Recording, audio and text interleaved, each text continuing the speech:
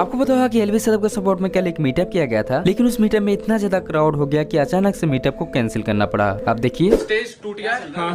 First aid टूट गया ACP order आ गया नो इवेंट एसीपी ने मना कर दिया है।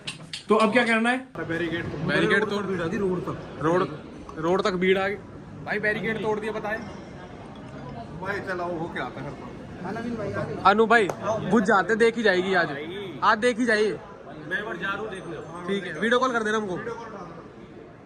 भाई ये आप लोग देख रहे हो ये अनबिलीवेबल भाई यहाँ भी भीड़। भाई ये एंट्री ये भी भीड़ ये यहाँ सब भाई ये नीचे। प्रोग्राम ही ना हुआ तो भीड़ का क्या करना फिर हमने?